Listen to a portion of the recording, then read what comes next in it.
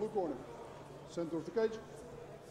Gentlemen, main event, three rounds, five minutes. You both know the rules. Listen to my command. Protect yourself at all times. Make it a good match. Shake hands if you want. Step back to your corner. Eieiei. Wir kommen zum Main Event. Ich bin gespannt, was passieren wird. Let's go. Werden beide loslegen wie die Ich darf Feuerwehr. darauf hinweisen, dass das Filmen untersagt ist.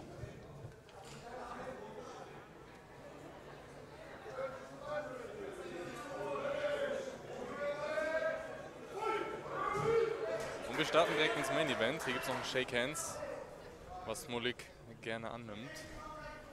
Arbeitet direkt hier mit dem Sidekick, versucht die Distanz zu finden. Und Corey wartet auf seinen Moment. Steht schön tief. Oh, und der schon direkte der Kick und das Drehkick. Knie, das landet auch. Es geht Wahnsinn. direkt zum Clinch. Corey versucht sich hier das Single Leg zu holen. Kriegt den hier fast sogar hoch.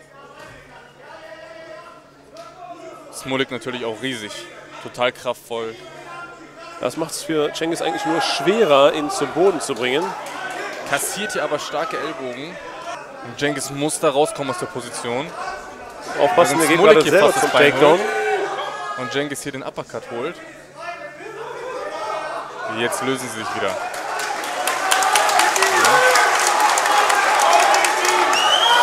Oh, und eine schöne Hand. Smolik muss ja aufpassen, nicht auch einen Konter zu fressen, denn Jenkins, der dampft in den Fäusten.